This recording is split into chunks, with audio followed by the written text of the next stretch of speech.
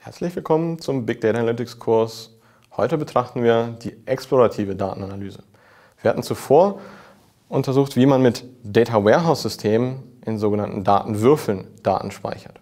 Heute wird es darum gehen, die Exploration, die interaktive Exploration etwas intelligenter zu gestalten, sodass der Benutzer nicht so überfordert ist mit der exponentiellen Vielfalt aller Kombinationen, aller unterschiedlichen Projektionen in einem Datenwürfel. Hierzu vielleicht einleitend noch ein kleines Beispiel, ähm, wo Sie diese interaktiven Explorationstechnologien einsetzen können. Wir sehen zum Beispiel im Energiebereich einen großen Vorteil durch solche interaktiven Datenexplorationen. Heutzutage haben äh, wir noch die analogen Messeinheiten in unseren Häusern, die den Energieverbrauch messen. Zukünftig werden äh, die meisten Häuser mit äh, sogenannten Smart Meters ausgestattet werden und man hat damit nicht mehr die jährliche Erhebung von dem Energieverbrauch, sondern kann bis auf Sekunden genaue Erhebungen über Energieverbrauch ermitteln. Damit entstehen natürlich vielfältige Fragestellungen im Bereich der Speicherung von Daten, im Bereich der Analyse von Daten und wir schauen uns heute insbesondere die interaktive Exploration durch den Menschen an. Hierzu ein echtes Beispiel, ähm, ein Datensatz, am äh, Karlsruher Institut für Technologie über die letzten Jahre entstanden. Dort sind in unterschiedlichen Gebäuden solche Smart Meter installiert und wir sehen jetzt hier wirklich den Datensatz, wie sich das Facility Management des KIT die Daten aktuell anschaut. Man sieht jetzt hier die Jahre 2006 bis 2010 dargestellt, aggregiert auf Monatsebene. Ich habe die Y-Achse hier mal äh, extra weggelassen. Es geht nicht darum, wie viel Energie dort verbraucht wurde, sondern um Muster in diesen Daten. Und Sie sehen immer ein sehr regelmäßiges Muster. Im Sommer wird dort mehr Energie verbraucht als im Winter. Ich kann Ihnen sagen, das ist das Informatikgebäude des KIT. Entsprechend sind da viele Server im Keller und man hat einen hohen Energieverbrauch durch Klimaanlagen. Ein anderes Muster, was Sie sehr leicht sehen können, ist, dass in 2008 etwas Besonderes passiert ist, nämlich ähm, dort wurde Energie eingespart und durch neue Anlagen entsprechend der Energieverbrauch drastisch gesenkt. Aber mehr sehen wir auch nicht. Wir sehen nicht alle unterschiedlichen Granularitätsebenen, sondern wir sehen diese eine fest eingestellte Granularitätsebene. Stellen wir uns also vor, wir sind der Facility Manager und wollen jetzt Detailinformationen haben. Das könnten wir mit den üblichen Technologien, die wir vorher kennengelernt haben, mit Drill-Down und Roll-Up, Slice- und Dice-Operationen uns die passenden Daten auswählen. Aber wer sagt uns schon, was die relevanten Daten sind? Und genau darum geht es heute. Ich habe jetzt hier mal markiert in 2010 drei Monate mit einer anderen Farbe. Genau das soll unserem Facility Manager jetzt anregen, genau in diesen Bereich einzusteigen und einen Drill-Down in diesen Bereich zu machen, weil wir statistisch analysiert haben, dass dort abnormal hoher Energieverbrauch entstanden ist, auf Wochenebene oder auf Tagesebene. Das sieht man hier in diesem Bild nicht. Deswegen wissen die meisten Benutzer nicht, dass auf Tagesebene vielleicht etwas statistisch Signifikantes passiert ist. Und genau um diese Technologien wollen wir uns heute kümmern, um die Anomalieerkennung auf beliebigen Granularitätsebenen. Also wie würde man das klassisch machen? Klassisch würde man nutzergetrieben die Drill-Down- und Roll-Up-Operationen durchführen und nach den richtigen Zellen, wo abnormal hoher Energieverbrauch entstanden ist, suchen. Wir machen das jetzt anders. Wir lassen einen Algorithmus diese Suche durchführen und wir versuchen jetzt mit diesen Statistiken, die der Algorithmus uns liefert, Highlights zu setzen, entsprechende Zellen zu markieren, in der der Benutzer dann einen Drill-Down durchführen kann. Stellen wir uns also vor, der Algorithmus findet jetzt eine abnormale Zellkombination, das im Bereich äh, des Informatikgebäudes zwischen März und April abnormaler Energieverbrauch entstanden ist. Dann könnten wir genau diese beiden Monate farblich hervorheben und dem Nutzer vorschlagen, es ist nichts weiteres als ein Vorschlagssystem, in diesen Bereich abzusteigen. Wie kann man das tun? Dazu gibt es eigentlich äh, sehr schöne Technologie äh, von 1998 äh, von IBM Research entwickelt. Sunita Saravagi, eine der Hauptautoren hier, hat etwas entwickelt, was sie als Discovery-Driven Exploration äh, bezeichnet hat. Discovery-Driven deswegen, weil sie gesagt hat, vorher war alles Hypothesen getrieben. Der Mensch hatte eine Hypothese und entsprechend dieser Hypothesen hat der Mensch in den Daten gesucht. Discovery-Driven bedeutet, dass der Algorithmus eine vorherige Suche durchführt und den Menschen anleitet, in bestimmte Bereiche abzusteigen. Also eine mh, etwas lenkende Rolle des Menschen übernimmt und den Mensch in bestimmte interessante Bereiche lenkt. Wie lenken wir die Benutzer über visuelle Hinweise durch farbliche Markierung und wie messen wir abnormale Zellen über äh, Signifikanztest und statistische Modelle. Und diese beiden Aspekte, nämlich die ähm, statistische Modellierung und die visuelle Modellierung, zeige ich Ihnen jetzt im kurzen Beitrag, ähm, wie man das mit Discovery-Driven OLAP durchführen kann. Hierzu definiert man sich zuerst mal äh, ein neues Maß, äh, das hat man Self-Exp getauft. Das ist die, wie unerwartet eine Zelle ist. Das ist ein neues statistisches Maß. Es misst, wie unerwartet eine Zelle ist.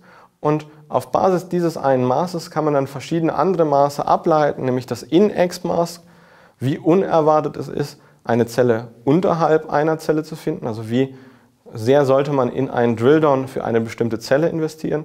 Und PathX entsprechend noch spezieller, wie unerwartet ist ein bestimmter Drilldown-Pfad entsprechend einer bestimmten Reihenfolge von Drilldowns.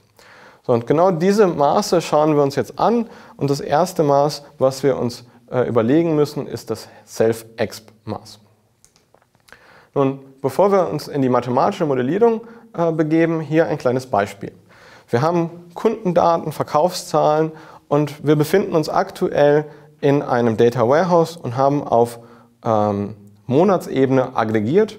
Wir haben zusätzlich zu den zwölf verschiedenen Monaten hier dargestellt auch noch weitere Informationen über die Produkte und die Regionen. Die sehen wir hier oben links dargestellt in grün und in rot. Und was unser Ziel ist, ist ein System zu bauen, das bestimmte Highlights setzt und den Benutzer lenkt, einen bestimmten Drilldown durchzuführen. Hier sehen wir jetzt markiert die Monate Juli, August und September in einem grünen Rahmen. Genau diese Monate scheinen für den Algorithmus unerwartet hohe oder unerwartet niedrige Verkaufszahlen zu beinhalten. Und grün, weil wir einen Drilldown im Bereich der Produkte vorschlagen. Hier sehen wir entsprechend den Monat Dezember markiert und der Algorithmus schlägt einen Drilldown im Bereich Dezember für die Regionen vor. Führen wir dies einmal durch, dann sehen wir jetzt hier einen Drilldown entsprechend der Produkte. Wir sehen jetzt hier die Produkte, wenn Sie sich die mal durchlesen, sind von 98 aus dem äh, Produktkatalog der IBM und äh, somit etwas veraltet, aber wir wollen uns jetzt nicht auf die Produkte konzentrieren, sondern auf die Kennzahlen hier in der Mitte der Tabelle. Und wir sehen stark markiert, äh, dass die Sony Printer Black and White im September äh, abnormal hohe Verkaufszahlen generiert haben, nämlich 41 Prozent und hier ähm, minus 13 Prozent im Oktober, immer im Vergleich zum Vormonat. Nun, genau diese Zellen hat unser Algorithmus vorher erkannt und entsprechend hier diesen grünen Rahmen gesetzt und gesagt, bitte einen Drilldown auf Produktebene durchführen. Der nächste ähm, äh, Operator, den wir durchführen, ist jetzt hier auf Regionsebene. Wir haben jetzt also einen Drilldown durchgeführt auf der Ebene der Regionen. Wir sehen jetzt hier North, South, East und West als Regionen. Und wir haben festgelegt, dass wir IBM Home Computer uns anschauen und nicht alle Produkte. Und hier sehen wir entsprechend auch etwas Spezielles, nämlich im Juli eine äh, Abweichung der Verkaufszahlen, im September eine Abweichung der Verkaufszahlen und das wird entsprechend vom System automatisch generiert. Jetzt die Frage, wie wird es generiert? Das ist jetzt etwas mathematisch, ich werde auch in die Details nicht ganz absteigen. Wenn Sie das interessiert, lesen Sie bitte die Publikation von Sunita Saravagi nochmal nach. Ähm, wie mir gesagt wurde, wurde das auch wirklich in aktuellen IBM-Systemen nachimplementiert. Sie hat es 98 entwickelt. So um äh, 2010 äh, wurde diese Methode auch in äh, käuflichen Produkten von ähm, IBM implementiert. Wie funktioniert das Ganze als Idee? Wir messen für jede einzelne Zelle, wie unerwartet diese Zelle ist. Und um diese, dieses Maß zu definieren, müssen wir erstmal den Erwartungswert feststellen. Der Erwartungswert ist einfach, was man über alle Zellen, über den gesamten Datenbestand erwartet. Das haben wir hier markiert über diesen Gamma-Wert. Wir haben also den globalen Durchschnitt gemessen über die Verkaufszahlen. Danach schauen wir uns unterschiedliche weitere Parameter an, jetzt in unterschiedlichen Granularitätsebenen. Wir steigen ab in drei Dimensionen, A, B und C, in verschiedene Werte. Dimension A, Wert I, Dimension B, Wert J, Dimension C, Wert K. Stellen wir uns das in unserem Beispiel von eben vor. Also wir wählen Dimension A als Region und betrachten uns jetzt die Region Norden als I. Oder wir steigen in Dimension ähm, Zeit ab in B und betrachten jetzt den Juli als J und so weiter. Wir können also jetzt hier mit diesen drei zusätzlichen Faktoren den Durchschnitt über die Dimension A in einer Produktgruppe messen. Über die zweite Dimension, über die dritte Dimension. Und jetzt machen wir das einfach kombinatorisch so weiter und äh, selektieren weitere solcher Dimensionen, A kombiniert mit B, B kombiniert mit C, A kombiniert mit C und bewerten entsprechend den Erwartungswert einfach durch das, ähm, den statistischen Erwartungswert äh, dieser selektierten äh, Teilbereiche. Nun, wie berechnen wir das weiter? Also ich hatte gesagt, Gamma ist unser globaler Durchschnitt über alle Zellen. Gamma A berechnet sich einfach durch den globalen Durchschnitt in Produkt äh, oder in Dimension A, Produkt äh, I minus den globalen Durchschnitt. Und entsprechend, wenn Sie Kombinationen nehmen, nehmen Sie immer den Durchschnitt dieser selektierten Kombination von Dimensionen und Produkten minus die durchschnittliche ähm, Betrachtung des Erwartungswertes in A minus B minus den Gesamtdurchschnitt.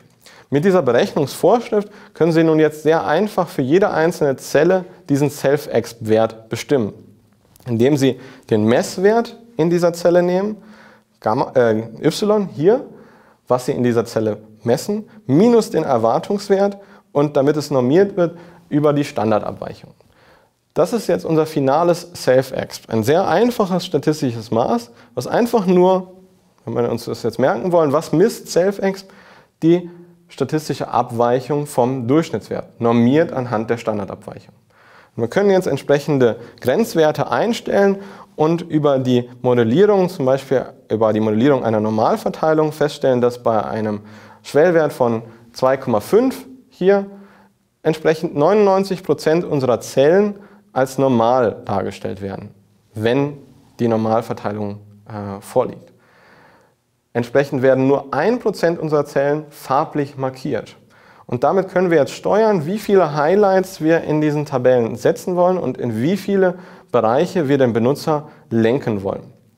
Mit SelfX müssen Sie sich jetzt auch vorstellen, haben wir nur die einzelnen Zellen markiert. Wie können wir jetzt feststellen, in welche Pfade wir absteigen müssen? Nun, das ist jetzt die InExp und PathExp Erweiterung. InExp ist recht einfach zu berechnen, ist das Maximum aller Self-Exp-Werte, wenn ich in diese Zelle absteige. Über alle möglichen Drilldown-Operatoren. PathExp ist entsprechend das Maximum aller Self-Exp-Werte, wenn ich einen speziellen Drilldown durchführe, entsprechend der Region oder der Zeit in unserem vorherigen Beispiel. Sie können also sehr leicht lenken, in welche Dimensionen Sie den Benutzer lenken wollen durch ähm, Bildung der entsprechenden PathExp und InExp-Werte. Nun, ähm, noch ein Wort zur Berechnung. Äh, man kann Self-Exp, In-Exp sehr einfach berechnen, indem wir einen zweistufigen Algorithmus bauen. Einerseits durch einen Bottom-up-Algorithmus berechnen wir uns alle Durchschnittswerte durch Aggregatsbildung. Dort finden wir dann ein entsprechendes Modell, nämlich diesen Erwartungswert und können dann entsprechend über einen ähm, Up-and-Down-Algorithmus, der hier skizziert wird, einerseits einmal die Berechnung der Durchschnitte vornehmen, bottom-up, also von den feingranularen Werten zu den äh, aggregierten Werten und dann einen Down-Teil dieses Algorithmus, wo wir durch Subtraktion, wie eben in den Formeln dargestellt, für jede einzelne Teilgruppe, also für jede einzelne Kombination, diese Koeffizienten Gamma äh, berechnet werden.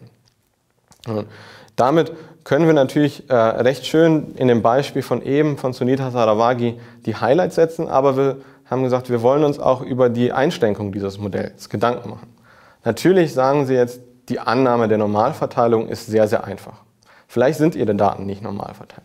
Aber das ist jetzt ein Beispiel, wie Sie über eine solche Annahme solche unerwarteten Zellen finden. Wenn Sie eine andere Annahme setzen wollen, können Sie entsprechend diese Modelle adaptieren und entsprechend mit anderen Modellannahmen äh, dort reingehen. Das Fitting dieser Modelle ist natürlich sehr, sehr abhängig von solchen Outliern. Also stellen Sie sich vor, Sie haben eine abnormale Zelle, dann wird natürlich der Durchschnittswert durch diese abnormale Zelle entsprechend nach oben oder nach unten verschoben. Ähm, wir haben auch ein bisschen die Trendanalyse außen vor gelassen. Über die Zeit verändern sich natürlich diese Produktzahlen sehr stark und wir könnten jetzt auch die zeitliche Variation uns anschauen. Die ähm, Einschränkungen auf Teilbereiche dieses Würfels haben wir auch nicht durchgeführt, sondern wir haben ein globales Modell trainiert.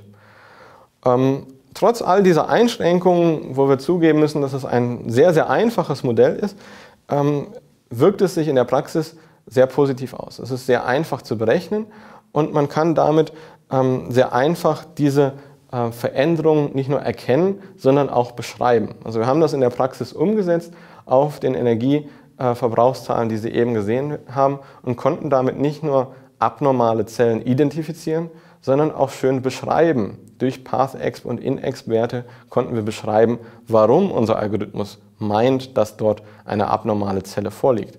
Diese Beschreibung ist für mich persönlich ein deutlicher Mehrwert gegenüber traditionellen Verfahren, die nur Anomalien detektieren können. Weil am Ende werden Sie immer von Ihrem äh, Kunden oder von äh, einem Entscheidungsträger gefragt, warum diese Zelle abnormal ist. Und genau diese Verfahren über InEx und PathEx geben Ihnen diesen Mehrwert. Und wie gesagt, wir haben das an realen Daten auf dem Universitätscampus des KIT in Karlsruhe durchgeführt und konnten genau diese abnormalen Energiemesswerte in unterschiedlichen Gebäuden zu unterschiedlichen Zeitpunkten, aber für unterschiedliche Verbraucher feststellen. So viel zu diesem Teil. Ich hoffe, es hat Ihnen gefallen und wir sehen uns nächste Woche wieder. Vielen Dank.